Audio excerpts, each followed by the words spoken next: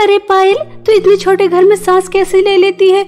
यार, मुझसे तो दो मिनट रुका भी नहीं जा रहा। इससे बड़ा तो मेरे नौकर का रूम ही होता है, जितना बड़ा तेरा पूरा घर है। लेकिन बेचारी तो कर भी क्या सकती है? गरीब परिवार में जो तेरी शादी हो गई, तेरा पति मेरे पति की तरह अमीर नहीं है ना? मैं तो लाखों में खेलती हूँ, लाखों में।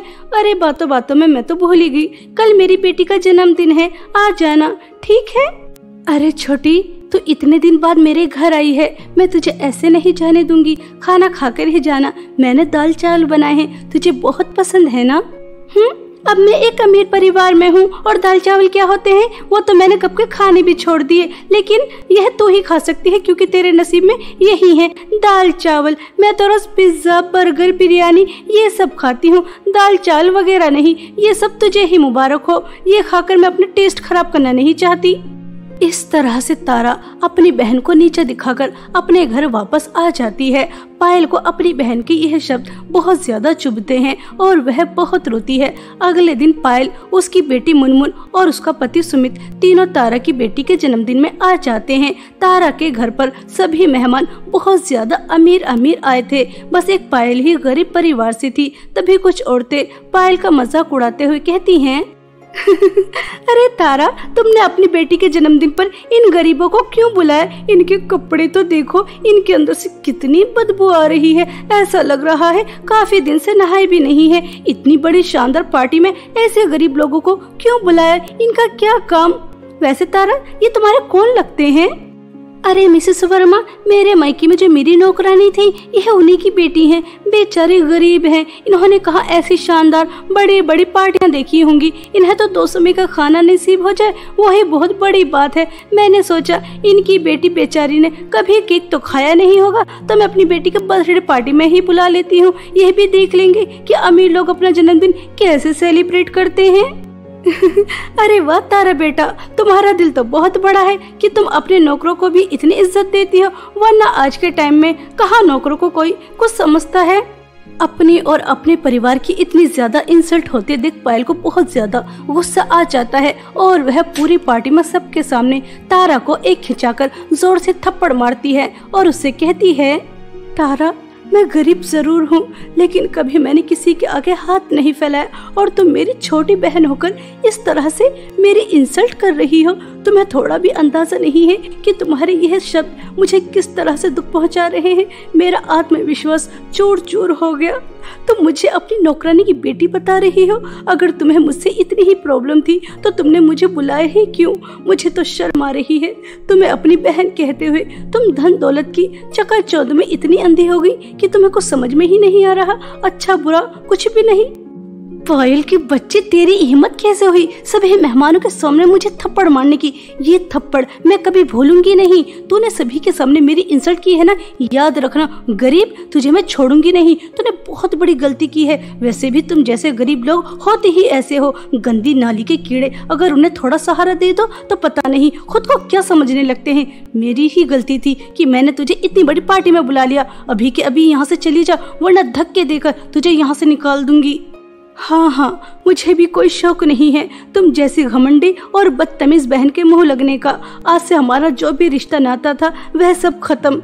ऐसा कहकर पायल अपने घर वापस आ जाती है। वहीं दूसरी तरफ़ तारा पायल के इस बर्ताव से बहुत ज़्यादा चिढ़ जाती है और वह मन ही मन उससे बदला लेने की सोच लेती है। ऐसे ही कुछ दिन बीत जाते हैं पायल का परिवार पहले ही गरीबी में अपना जीवन व्यतीत कर रहा था, लेकिन पायल इस बात से अनजान कि उसके ऊपर एक मुसीबत और आने वाली है। हमेशा की तरह आज भी सुमित खेतों से काम करके घर वापस आ रहा था कि तभी एक कार सुमित को टक्कर मारकर चली जाती है और उस एक्सीडेंट में सुमित की टांगे टूट जाती हैं। घर में जो भी जमा पूंजी थी, वह सब सुमित के इलाज में लग जाती है। यह देखकर सुमित को बहुत दुख होता है और वह पायल से कहता है? पायल मैं तो चारपाई पर बैठ गया। और जो पैसे घर में जमा थे वह सब मेरे इलाज में लग गए। अब क्या होगा मेरे तो कुछ समझ में नहीं आ रहा। पता नहीं सुमित जी यह मुसीबतें। हम जैसे गरीबों का पीछा क्यों नहीं छोड़ती? पहले ही क्या मुसीबतें हमारे ऊपर कम थी? जो एक और आ पड़ी ऊपर वाले को हमारे ऊपर जरा भी रहम नहीं आता। दो समय का खाना पहले ही हम इतनी मुश्किल से खा रहे थे और अब तुम्हारे एक्सीडेंट के बाद तो दाने दाने को तरस गए। मैं मेरी बेटी को भूखा नहीं देख सकती। वह भूख के मारे कैसे तड़प रही है? मुझसे उसकी तड़पन देख ही नहीं जाती। सुमित, इसलिए मैंने सोचा है कि मैं काम करने जाऊँगी। घर में चार पैसे आएँगे तो हम दो समय का तो खाना खा ही सकते हैं। ऐसा कहकर पायल काम ढूँढने निकल जाती है और उसे एक शोरूम पर नौकरी मिल जाती है। अब पायल सुबह से लेकर शाम तक शोरूम पर नौकरी करती और जो पैसे मिलते, उससे अपने घर का गुजर बसर कर रही थी। अब पायल के हालात पहले से थोड़े बेहतर हो जाते हैं। अब पूरे परिवार को दो समय का खाना खाने के लिए मिल रहा था और सुमित की तबीयत भी धीरे धीरे ठीक हो रही थी। ऐसे ही एक दिन उस शोरूम पर तारा आती है और वह पायल को देखकर सोचती है अच्छा तो ये गरीब यहाँ पर काम कर रही है। पायल, उस दिन तूने मुझे थप्पड़ मारकर अच्छा नहीं किया। अब देख मैं तेरे साथ क्या करती हूँ। तेरा पति बीमार है ना और तू घर चलाने के लिए यहाँ पर नौकरी करती है। अब देख, मेरा शातिर दिमाग करता क्या है? ओ हेलो मुझे ये लहंगा नहीं चाहिए। नहीं नहीं, इसका कलर अच्छा नहीं है। वह रेड लहंगा दिखाओ। ये भी अच्छा नहीं है। कुछ और दिखाओ ना। तारा, तुम जानबूझकर मुझे परेशान कर रही हो ना? मैं यहाँ पर काम करती हूँ। कृपया कर कर। यहाँ पर तमाशा मत करो। मुझे अच्छी तरह से समझ आ रहा है कि तुम कुछ नहीं खरीदोगी। बस ऐसे ही मेरा टाइम वेस्ट कर रही हो। पायल तारा से ऐसा कह रही थी कि तभी तारा चुपके से एक लहंगा फाड़ देती है और वहाँ से खुश होकर चली जाती है। शाम हो जाने के बाद जब पायल अपने घर जाने के लिए तैयार हो रही थी कि तभी शोरूम मालकिन पायल से कहती हैं कहाँ जाने की तैयारी हो रही है? मेरा जो तूने इतना बड़ा नुकसान किया है, उसकी भरपाई कौन करेगा? ये लहंगा पूरे डेढ़ लाख का था और दोपहर मैंने तुम्हारे हाथ में ही इसे देखा था। उसके बाद इसे किसी ने छुआ भी नहीं। यह तुमसे ही फटा है, इसलिए चुपचाप इस लहंगे के डेढ़ लाख रुपए तुम्हें देने होंगे, वरना पुलिस को बुलाने में मुझे ज़्यादा देर नहीं लगेगी। समझ में आ रही है? यह सुनकर पायल चौंक जाती है और वह शोरूम मालकिन के सामने बहुत रोती है, गिड़गिड़ाती है कि वह नुकसान उससे नहीं हुआ। लेकिन शोरूम मालकिन पायल की एक नहीं सुनती। वहीं दूसरी तरफ़ बाहर खड़ी तारा यह सब देखकर बहुत खुश हो रही थी कि वह जैसा चाहती थी, वैसा हो गया। पायल रोते हुए अपने घर जा रही थी। अरे, ये क्या हो गया? ज़रूर यह सब कुछ तारा ने जानबूझ कर किया है। दोपहर वही लहंगे देख रही थी। उसने मुझे यहाँ से निकलवाने के लिए सब कुछ किया होगा। अब मैं डेढ़ लाख रुपए का नुकसान कैसे भरूँगी? और अगर पैसे नहीं दिए तो मैं जेल चली जाऊँगी। मेरी मासूम बच्ची, मेरा बीमार पति। ये सब क्या हो गया? इस तरह से पायल बहुत रो रही थी, तभी पायल की नज़र जंगल में एक गुफा के ऊपर जाती है, जिसके अंदर से बहुत तेज रोशनी आ रही थी।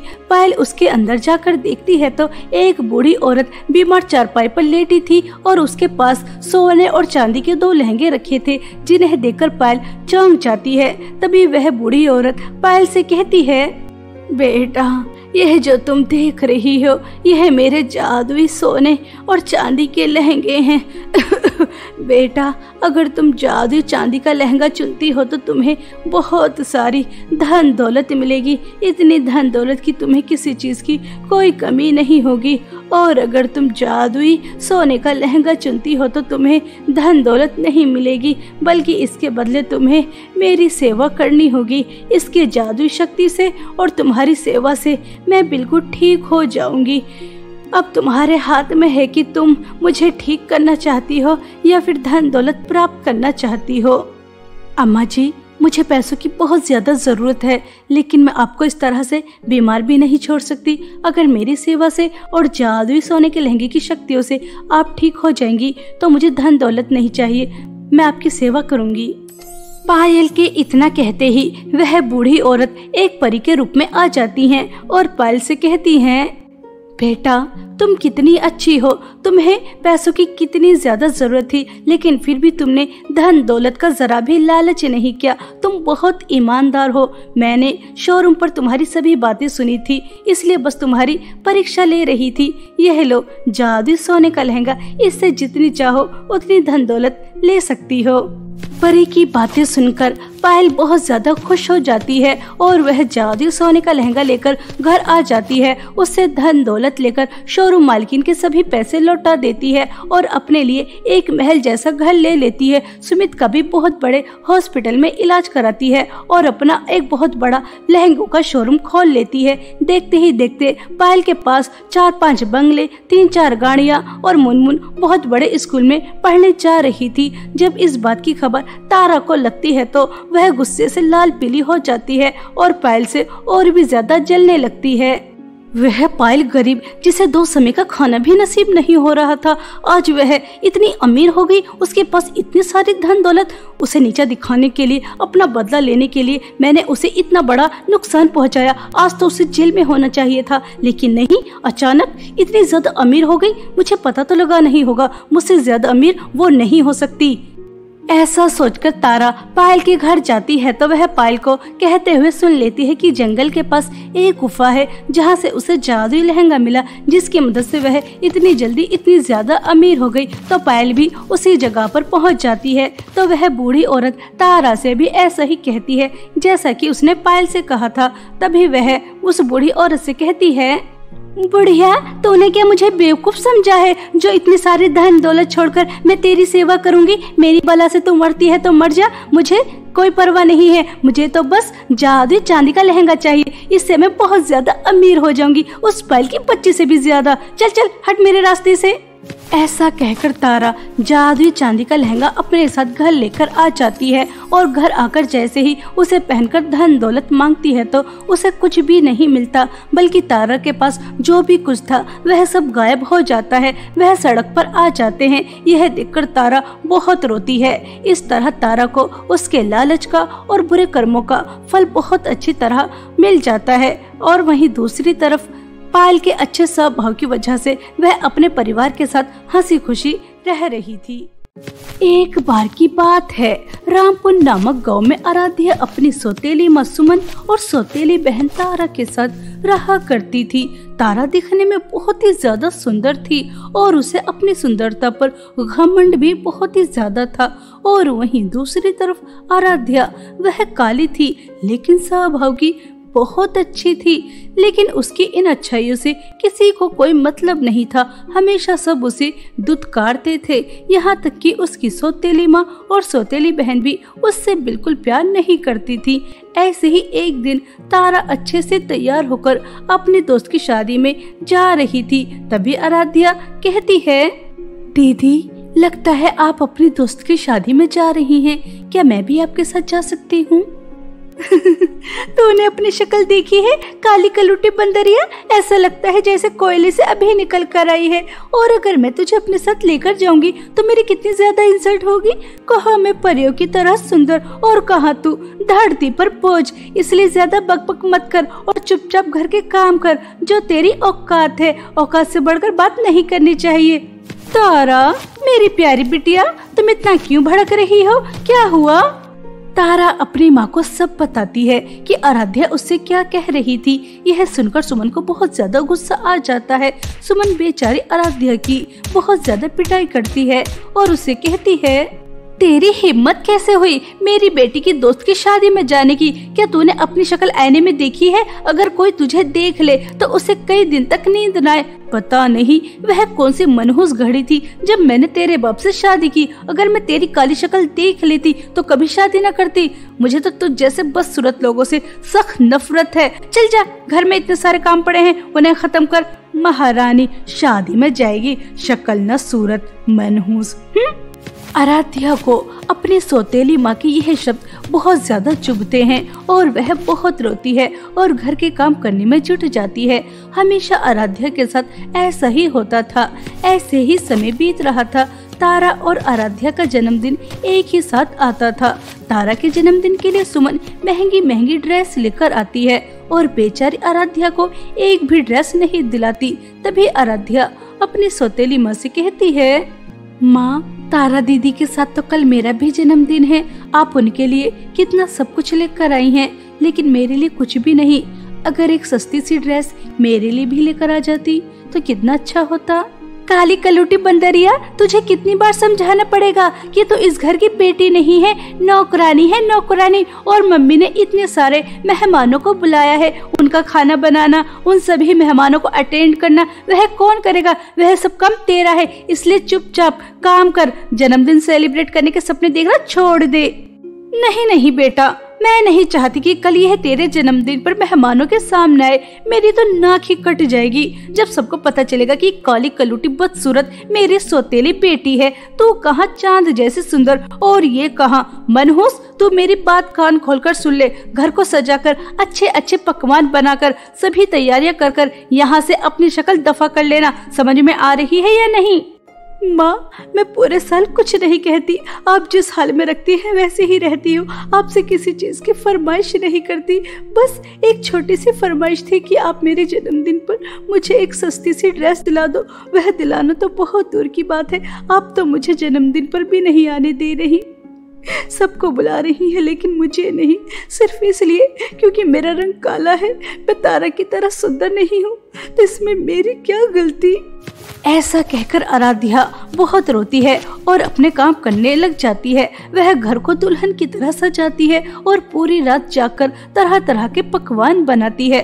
अगले दिन तारा अपने जन्मदिन पर बहुत सुंदर ड्रेस पहनती है। बहुत सारे मेहमान आते हैं। उसके लिए महँगे महँगे गिफ्ट लेकर आते हैं। उसे जन्मदिन विश करते हैं। और वहीं दूसरी तरफ़, बेचारे आराध्या, जन्मदिन मनाना तो बहुत दूर की बात। उसे तो कोई जन्मदिन विश करने वाला भी नहीं था। बेचारी ऐसे ही फटे पुराने कपड़ों में घर से बाहर एक पेड़ के नीचे बैठकर बहुत रोती है।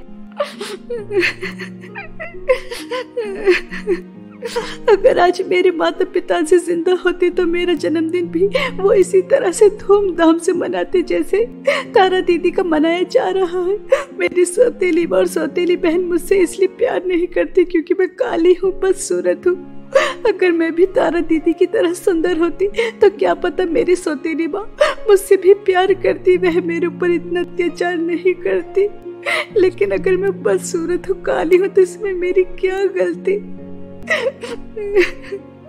मेरी सौतेली और बहन को समझ में क्यों नहीं आता? इस तरह से आराध्या बहुत ज़्यादा फूट फूट कर रो रही थी। तभी वहाँ पर एक बूढ़ी औरत आती है और वह आराध्या से कहती है लगता है, बेटा, तुम बहुत दुखी हो, परेशान हो।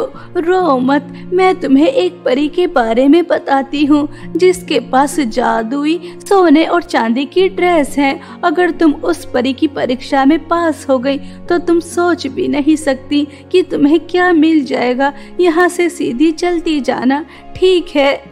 उस बूढ़ी औरत की बातें सुनकर आराध्या चुप हो जाती है और जैसा कि वह बूढ़ी औरत आराध्या से कहती है, वह वैसा ही करती है। जंगल में सीधा चलना शुरू कर देती है कि तभी रास्ते में उसे एक जख्मी हिरण मिलता है। अरे, तुम तो कितने प्यारे हिरण हो। तुम्हें इस तरह से जख्मी किसने किया? तुम्हें तो बहुत दर्द हो रहा होगा। मैं अभी तुम्हारी मदद करती हूँ। ऐसा कहकर आराध्या उस जख्मी हिरण के जख्मों पर जड़ी बूटियाँ लगाती है। जब वह पहले से थोड़ा बेहतर हो जाता है तो उसे हरी हरी घास भी खिलाती है। तभी वह खुश होकर आराध्या से कहता है, आराध्या, तुम्हारा दिल बहुत बड़ा है। शीशे की तरह साफ़ है। तुमने मुझे जख्मी देखा और तुरंत मेरी मदद की और मुझे पेट भरकर घास भी खिलाई। तुम बहुत अच्छी हो।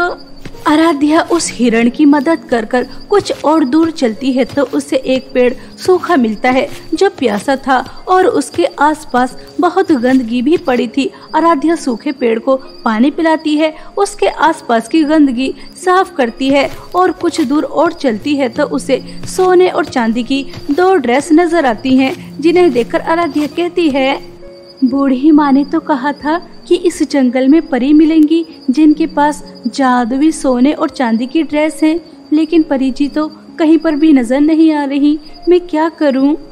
आराध्या ऐसा सोच ही रही थी कि तभी जादुई सोने की ड्रेस से आवाज़ आती है आराध्या मैं परी की जादुई सोने की ड्रेस हूँ और मैं जानती हूँ कि तुम्हारी ज़िंदगी में अब तक तुम्हारे साथ कितना बुरा हुआ, सब तुम्हारे काले रंग का कितना मज़ाक उड़ाते थे, तुम्हें कितना भला बुरा कहते थे। यहाँ तक कि तुम्हारी सौतेली माँ और सौतेली बहन भी तुम्हारे साथ बहुत बुरा बर्ताव करती हैं, लेकिन अब तुम्हारी सारी परेशानी खत्म हो जाएँगी। तुम मुझे पहन लो तुम दुनिया की सबसे ज़्यादा सुंदर लड़की बन जाओगी। कोई तुम्हारे रंग रूप का मज़ाक नहीं उड़ाएगा। सब तुमसे प्यार करेंगे प्यार।